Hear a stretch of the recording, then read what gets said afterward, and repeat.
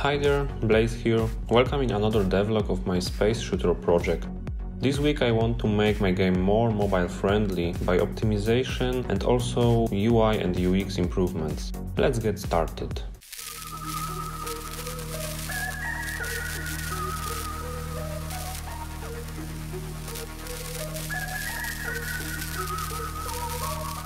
So today is Monday and I made changes on UIs to adjust them for vertical display. I changed layout a bit, so now we have small image on the top of the screen. This is because many people have really huge fonts, so this area is really hard to reach with the thumb, so it will be used only as visual aspect. All buttons were moved to the bottom and I want to make some graphics for them in the future, but for now we have only plain text. There is some space left on the middle of screen and I want to place here some stats, settings, etc. Everyone welcome in Tuesday. I spent this day on improving my UI. I added button to access pause menu and connect it with corresponding UI. To be honest, I connected all the buttons with corresponding actions, so as you can see you can now leave pause menu by clicking continue button and you can also restart mission or back to main menu. Main menu contains only two buttons, so nothing special, but I will improve this in the future. From mission complete window you can also back to the main menu. There is one more interface, game over window with some buttons. If player's spaceship was destroyed by aliens, it can back to the game by clicking respawn button. Its health will be set to maximum and game will be continued from the place where it lose. But this can be done only once per game. After second death, this button is disabled. Player can also restart entire mission to try again or back to main menu. Welcome on Thursday. Yesterday I made some improvements on art. I prepared graphic for UI and add some blocks on the next soundtrack. Currently I'm doing few simultaneously and I will show you the effect of every when they are ready.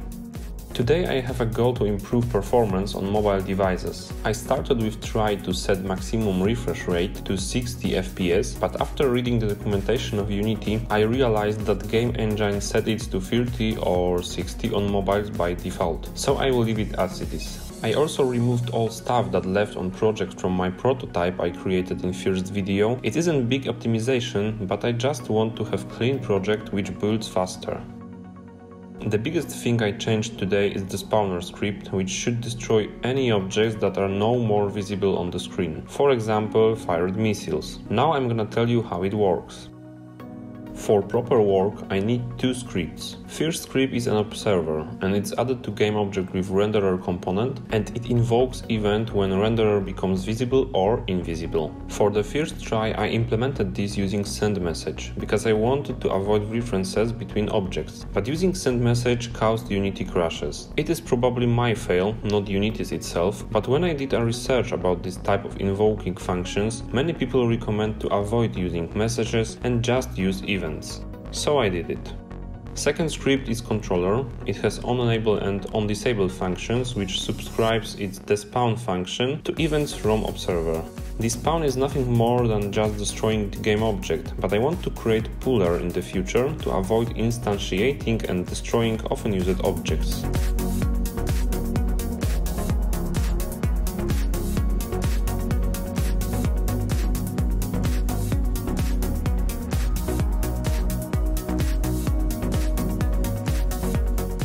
Hello, welcome on the end of the week. I spent a few hours of Friday and the weekend to improve my second soundtrack. This will be for boss fights. It is still not finished, but I can show you how it sounds for now.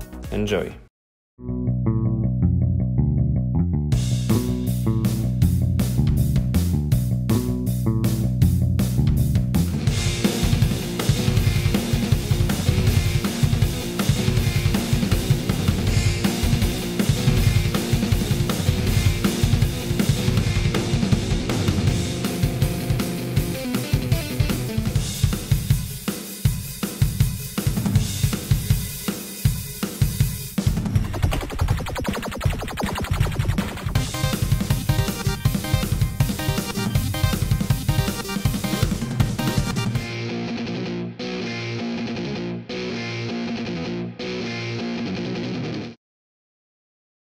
And that's all for today. Not too much, but I just had less time to develop this project in last week.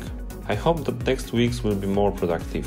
If you like my work, hit the thumbs up and remember to subscribe for more game dev content. From today, new videos will be released on Mondays instead of Sundays. So see you soon in next Monday. Bye!